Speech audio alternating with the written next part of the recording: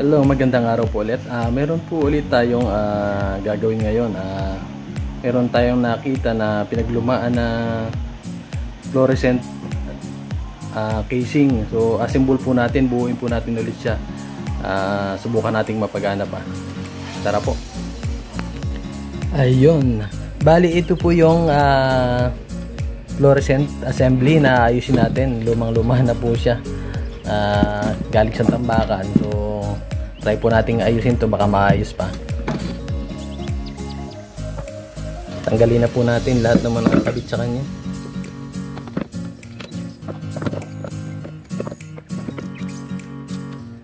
Po yung lumang balas niya. Tanggalin na po natin yung mga wires kasi kailangan na rin naman itong balitan. Dahil malulutong na siya.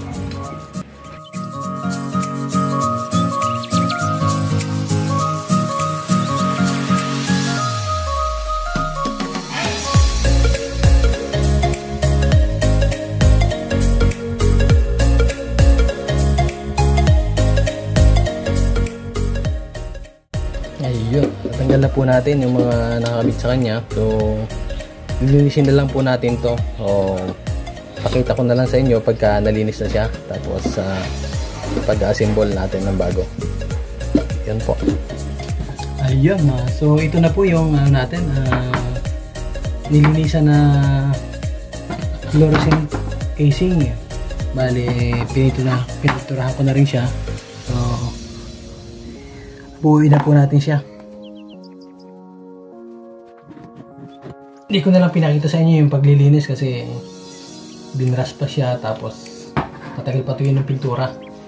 So, ito, parang medyo magmukha naman siyang bago. Um, mukha naman siya kumpara sa kanina. So, buuin na po natin.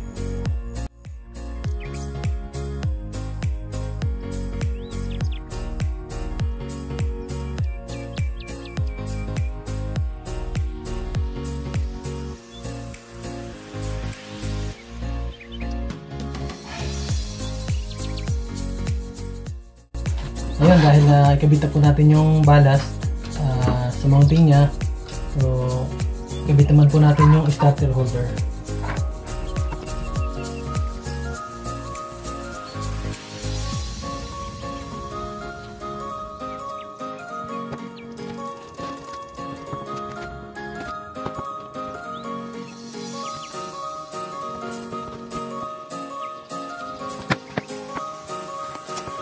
Yun, galit naman po natin yung lamp holder.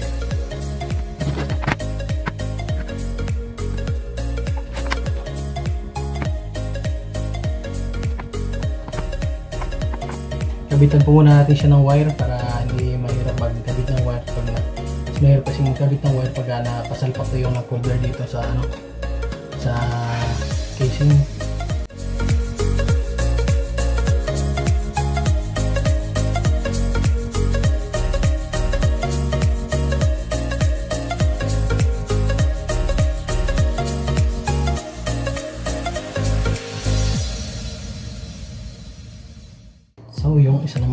kabit natin ng folder. Lagyan na rin natin siya ng wire.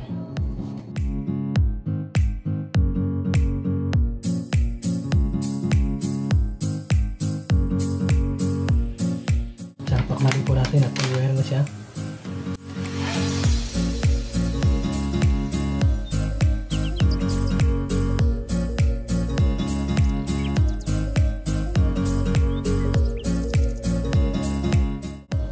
Rin po natin yung wire niya sa likod kasi ang wire po niya lalabas sa likod ng casing.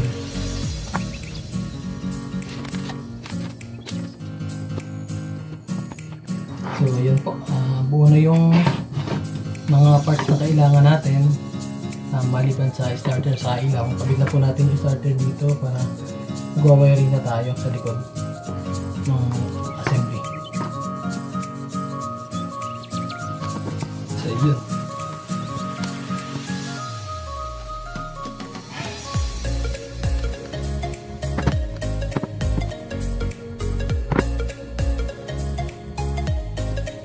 Yan po sa daw nating video, selection natin. Yung isang lamp holder doon sa starter ang punta niya. Yung isang terminal ng lamp holder. Nakakabit natin siya dito sa isang terminal na starter. Ngayon yung isa pa naman natin starter kaya din sa nating video dapat pupunta siya doon sa isang terminal ng lamp holder, lamp holder para sa pupunta sa bulb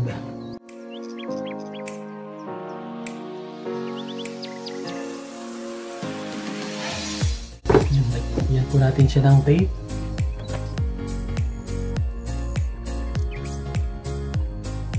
Dugtungan natin ng wire.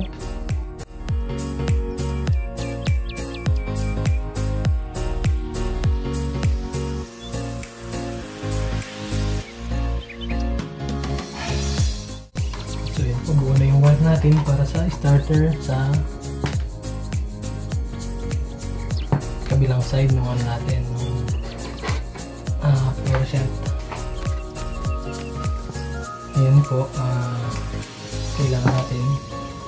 yung pararapan sa ballast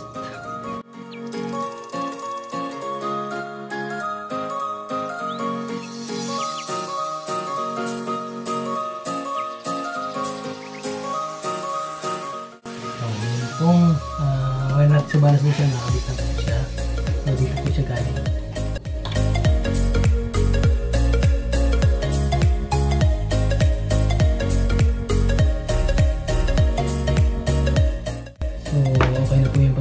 natin ng wire para sa ballast. Ngayon po, natitira na lang natin na open wire ay yung sa para sa line. So line 1, line 2 na po ito. So kabit po natin na meron akong plug na buhat sa pinagputulan mga wire na ginamit natin. So ito lang din gamitin ko na plug para ipa-plug lang natin ulit siya sa extension para ma-testing natin.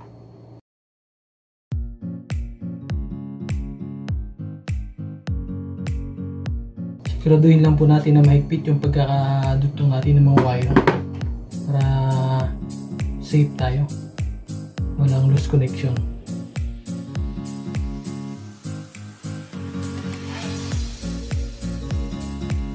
So yun na po yung sa Bali, line 2 natin siya. So, ito po yung line 1 natin. Kabit natin natin siya.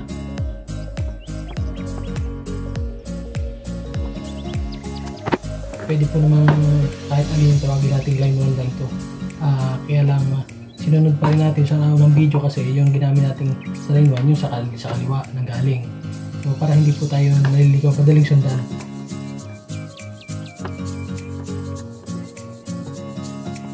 Yung mga ganito pong wire sa sobrang pino naman siya. Kaya kaya siya ng kahit kamay lang. Pero pagka medyo matataba na po ng wire, yung ginagamit natin dapat is yung uh, plies na panghigpit. Pag ganito po kasi pag namin natin, pwede naman kaya lang medyo alalay dahil pag napalakas na uh, papatid yung tibla ng wire natin yung mga strand niya dahil sobrang pino. So, pwede po naman sa siya na kamay kaya naman siya kita ng kamay lang siguraduhin lang po na may fit talaga yung pagkakadugtong niya pagkaka-splice ng wire bago siya lagyan ng tape.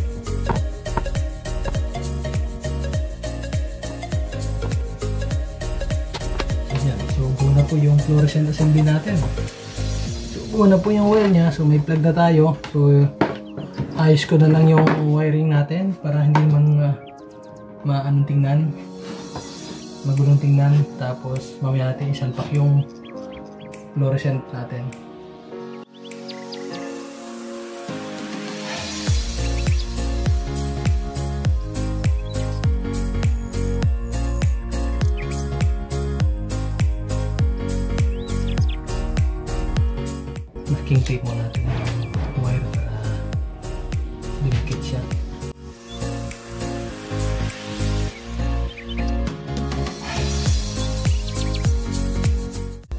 pag-test natin hindi siya masyadong hassle. So pag ikakabit naman na siya sa kung saan siya pupwesto uh, natatak pa naman siya ng kesame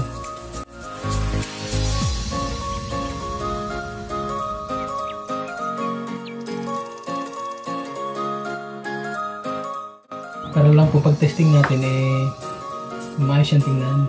Uh, pagkakabit naman natin na siya pag kinabit mo siya sa kisame natatakpan po lahat yung wire niya kaya nagabit niya ayos. So ngayon lang uh, testingin kasi natin dito bago natin na uh, pwedeng kabit kung saan natin gustong gamitin pag gumana siya. So ito po uh, testing natin ito kung gagana yung ano natin bagong assemble na fluorescent assembly na pinaglumaan galing po sa pinaglumaan. Ito po yung fluorescent natin. Ang purpose po natin dito kaya natin to uh, ginawa at um, sinu sinusubukang buuin pa. Eh para po kung ma-encounter natin minsan sa bahay, sa ating mga tahanan na may mga sira tayong ganito. Eh, pwede nating maayos pa kung sakaling kaya pa maayos. Ang pinakamalaga po kasi dito talaga yung ano eh, itong casing. Kasi hindi ka po basta-basta makakabili ng casing lang. Uh, pag bumili ka ng casing, madalas set na bibilin mo. So kasama na. May ano na, may starter holder na, may balas na wala lang ilaw. Pag bumili ka nun, bibili ka pa ulit ng ilaw. So ito po kasi talaga yung pinaka important, importante dito. So yung ilaw po kasi nabibili talaga yan, mga spare parts lang naman yan. Ang pinakamalaga talaga yung casing. So na-save natin yung casing pag napagana pa natin to. Casing. Tapos uh, so yung ginamit natin dito mga wire, mga ano na rin, mga use na rin. Galing sa mga ano po to sa mga mga fan motor hindi naman na din siya natin binili. Pero kung talagang bubuo tayo ng ano, simple lang po bibili dapat. So, testing po natin siya. Para makita natin kung gagana yung bagong binuo nating uh, fluorescent assembly. Dito na naman po yung uh, ginawa natin nakarang video na extension.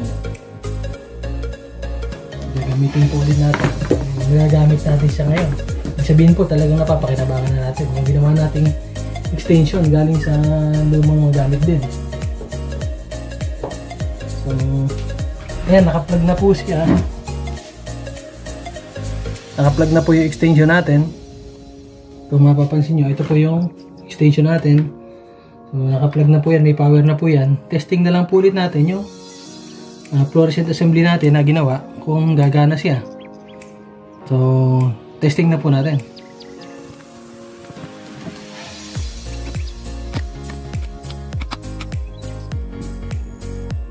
O yun po, uh, gumana. So, napag-araw po natin. So, nakabuo po ulit tayo ng isa na namang uh, gamit na sa ilaw sa mga ilaw sa ilaw natin sa bahay. Uh, buhat sa scrap na kasi scrap na po siya yung tong assembly kanina nung umpisa natin siyang buuin pinagalahat natin yung parts niya. So pinalitan po lahat natin ng parts uh, dinodify lang natin itong ano niya. Bali pininturahan natin nilinis pininturahan na rin.